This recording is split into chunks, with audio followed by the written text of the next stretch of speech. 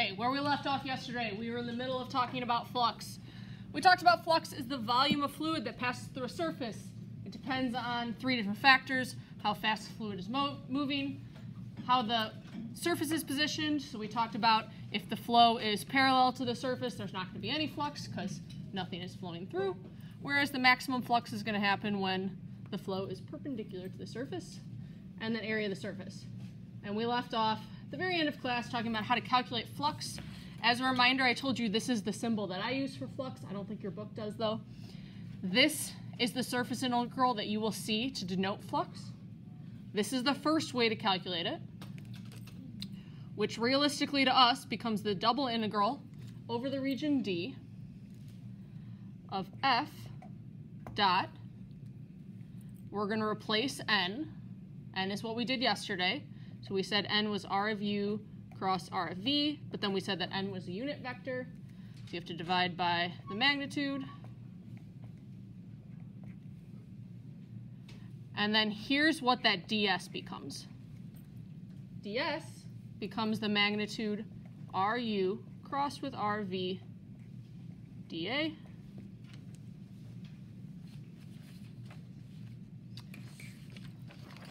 Okay, so ultimately where that gets us is that flux, which is the surface integral of f dot ds. It's going to be the double integral over the region D. As you can see, these two magnitudes are going to cancel out.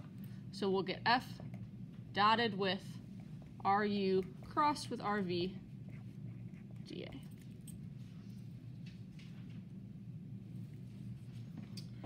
Okay, so let's do an example. We are going to find the flux of the vector field.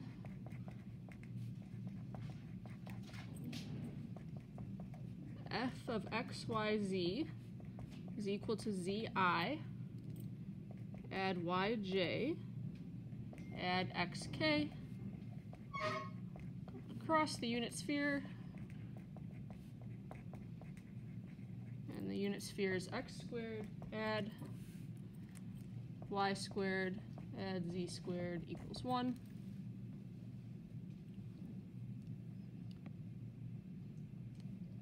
Okay, we're going to have to start by parameterizing our surface, surface being the unit sphere. So we've parameterized this multiple times by using spherical light coordinates whoever's that is, put it on silent. R's, two of them? Seriously, guys? R is going to be terms in terms of phi and theta. So we're going to get sine of phi, cosine of theta, comma sine of phi, sine of theta, comma cosine of phi.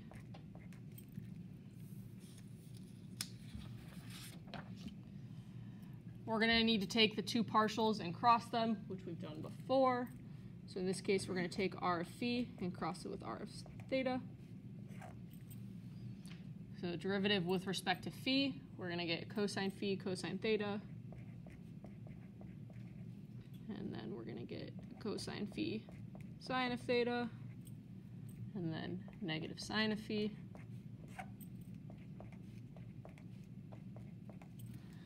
And then we're going to take the derivative with, with respect to theta.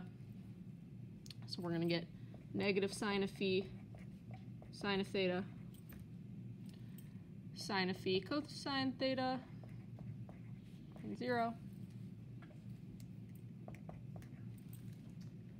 Are you okay if I just tell you what the result ends up being, since we've done this multiple times?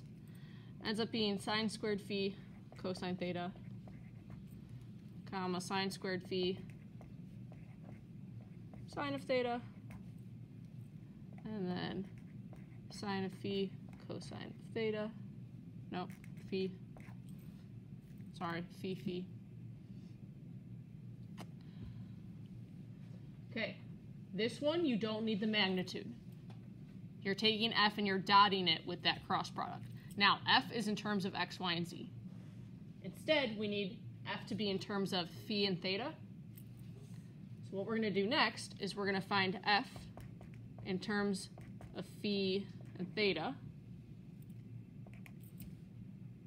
And whatever we get, we're going to dot that with r of phi crossed with r of theta.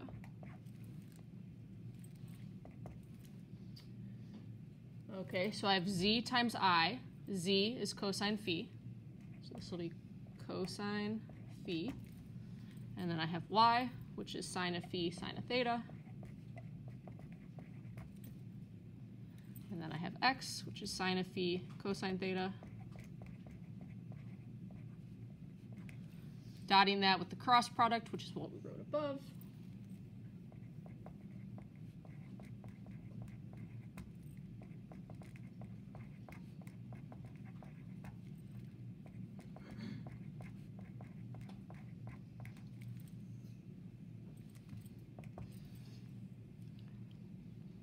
Okay, so when we do that, we get cosine phi, sine squared phi, cosine theta.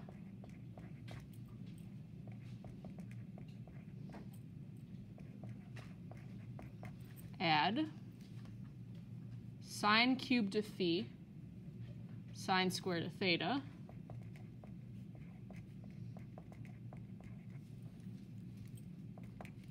Sine squared phi, cosine phi, cosine theta.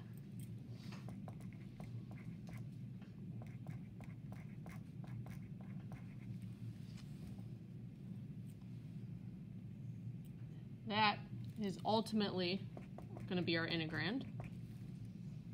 So our flux now is the double integral of all of that.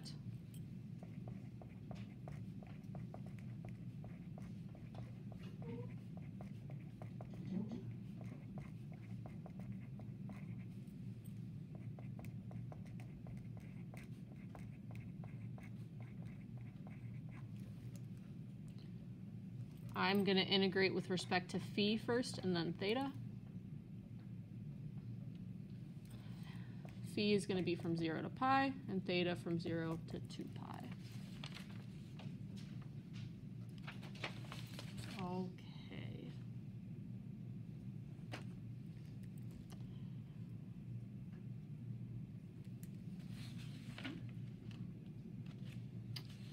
Okay. I really wish there was a nice way to do this. My suggestion to you would be to split it up into three separate integrals because then you're going to have a product of phi and then theta, a function of phi and then theta. You get what I'm saying? So for this first one, we would integrate from 0 to 2 pi cosine of theta d theta and then 0 to pi cosine phi sine squared phi d phi.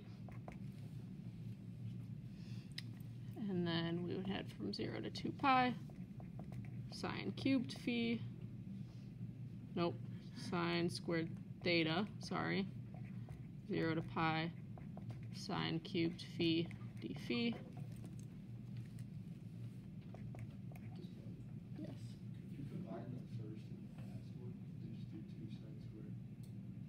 If wondered where that 2 came from on my notes. Yeah, thank you. These are the same, Huh? right? These two? Yeah, yeah. Okay, good. Thank you. You saved us some work. Okay. Can you guys integrate all of these on your own? This one should be fine. This one's a U substitution. This one, double it, double angle. This one, One minus. sine squared. Yeah. Okay. Can I just give us the answer then? So we're comfortable doing that on our own. Okay. Ends up being 4 pi over 3.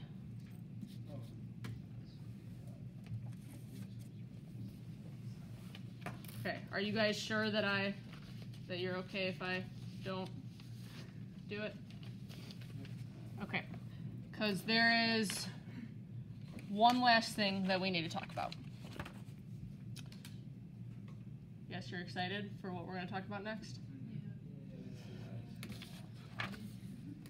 It would have been just appropriate to say, yeah, Miss Button, I'm really excited for what we're going to talk about next.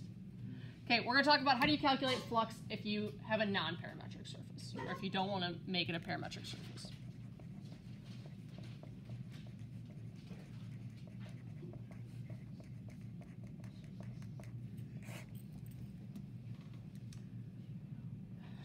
If it's non-parametric, let's say that you have some surface z is equal to some function of x and y, and that your surface is oriented upward.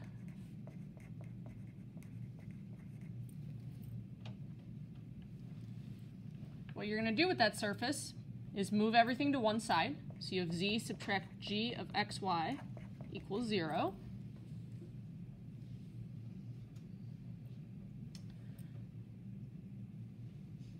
We're going to call all of that big G of xyz.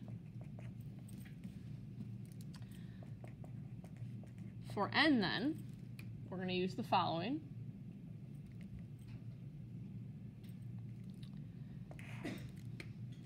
Numerator is going to be negative z of x, negative z of y, and 1.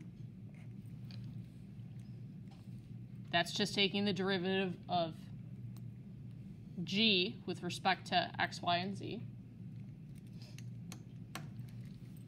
Has to be a unit vector though.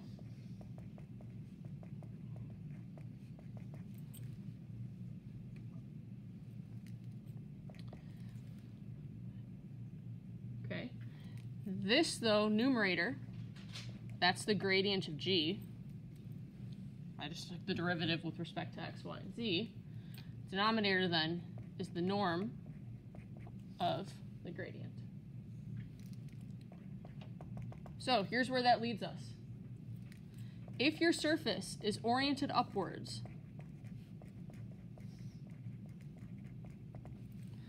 the integral will be the following. It'll be the surface integral of f dotted with negative z of x, negative z of y, and 1 dA. So I guess S isn't really the best. Let's put a D there instead. So that's if your surface is oriented upwards. If it's oriented downwards, going to be D, or double integral over D of F, dotted with Z of X, Z of Y, negative 1 dA.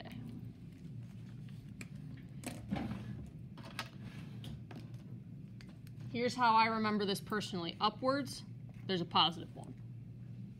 Because these signs are always going to be different, this, these signs compared to this one. Downwards, negative there, which means the other two are positive. So all you have to really remember is the sign. We're going to do one example and then we'll be done with notes. Sound good? Okay.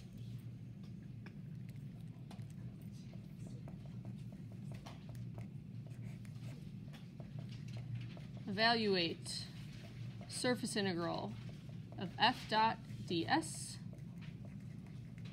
where f is the vector field y, x, z,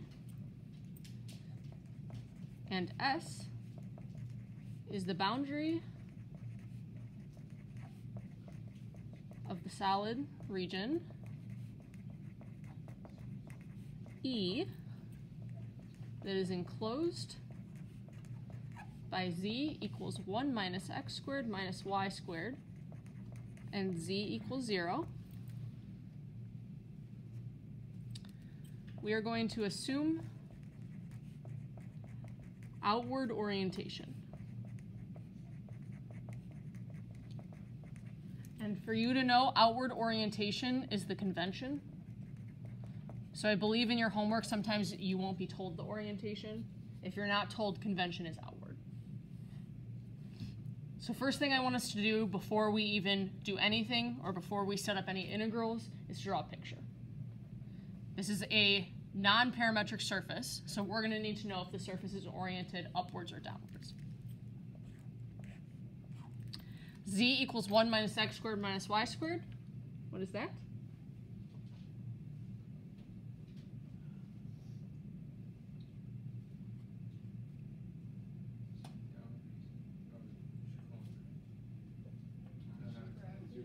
Yeah, it's a downward parabola. Okay so it starts at z equals 1.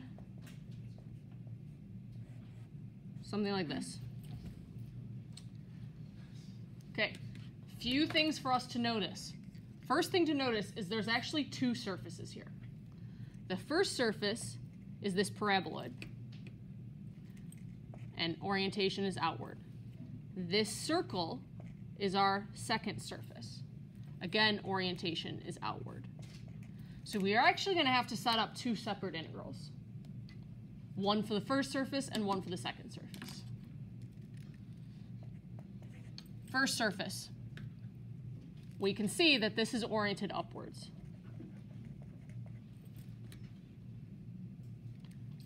So we are integrating over surface 1 of f dot ds, which is going to become the double integral over the region D, which we'll figure out in a minute, of f, so f is yxz, so yx, don't use z though, for, for z we're going to put in the surface, so 1 minus x squared minus y squared, dotted with oriented upwards, I think I'm gonna run out of room, means that is the positive one. So that means we're gonna take the derivative with respect to x and y, but then switch their signs. So this one's positive, those two have to be negative. So I get negative 2x, but switch the sign. Negative 2y, but switch the sign.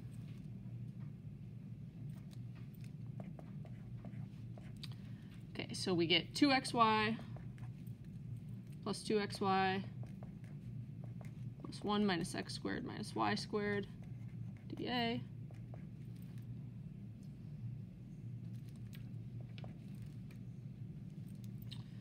This is the double integral over the region D of 1 plus 4xy minus x squared minus y squared. Okay, suggestions. Well, first of all, what is our region D? So how are we going to figure out what the limits are?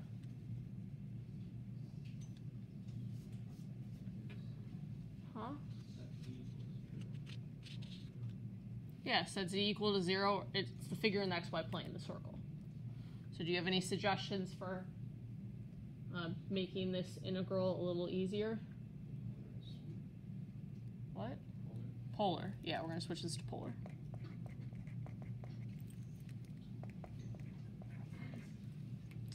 So this will be 1 plus 4r squared cosine theta sine theta minus r squared. Because we switch, switch to polar, don't forget the extra r, and then dr d theta. r goes from 0 to 1, theta is from 0 to 2 pi.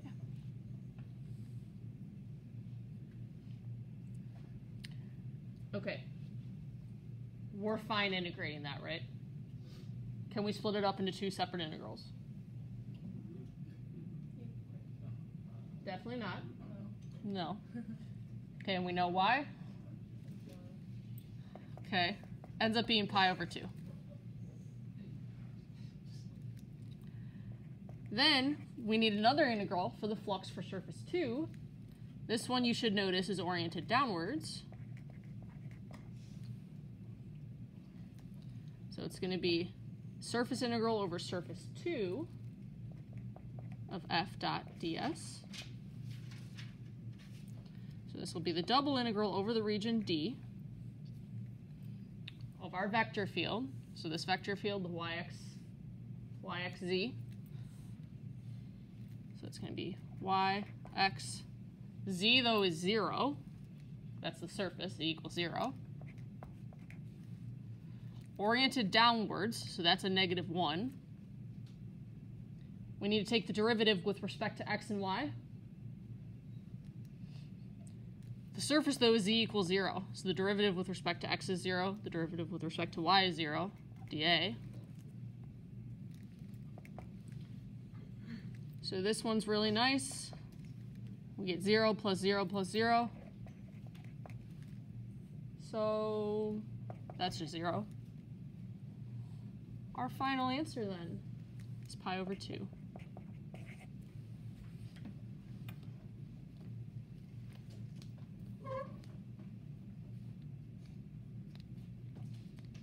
Alex, can you open the door, please? So that's flux. Any questions?